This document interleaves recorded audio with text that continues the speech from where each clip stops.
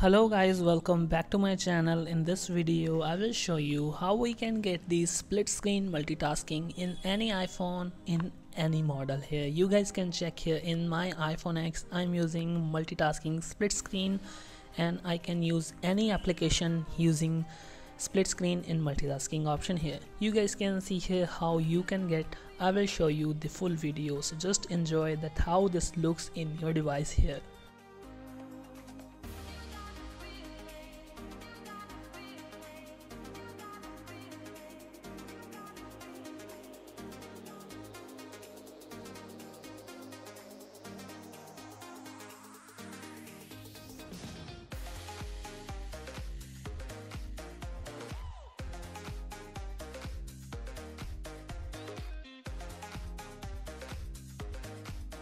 so firstly guys let's see how this works. As you guys can check here this is my iphone. And in my iphone for example let's assume i'm using instagram application here. So this will be the instagram. So right now i would like to open youtube app. How i can open in multitasking screen. I just need to simply swipe up. And you will see that a dock will available here. Now i just need to hold and drag youtube application near the side of the screen and you will get the YouTube app in the multitasking screen here. You guys can check here I can use YouTube and I can also use Instagram app and the bigger iPhone screen will help us. It will it will looks more impressive in the bigger iPhones for example max iPhones or plus iPhones. So now I can increase the size of Instagram. I can upload videos photos or any post I want to upload. And in YouTube I can just use to try the YouTube videos so after playing a video I can just minimize this YouTube app something like this one and try to use any other app.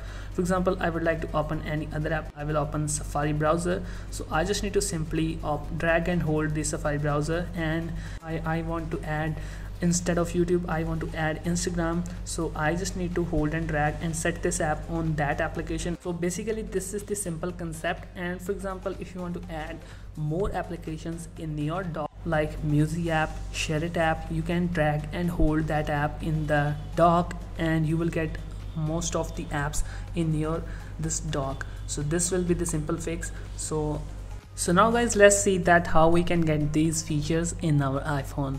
So firstly in this method to use this method your iphone should be jailbreak which means that Cydia should be installed. I have jailbreak my iPhone using Checkra1n. If you want to jailbreak your iPhone, there are two methods. The first one is without computer method and the second one is using computer all the methods links will be available in description you can go and check out that videos that how we can jailbreak our iphone that is the another method or process so after jailbreaking cydia application will be installed in your iphone so you guys can see here this is how the cydia looks like.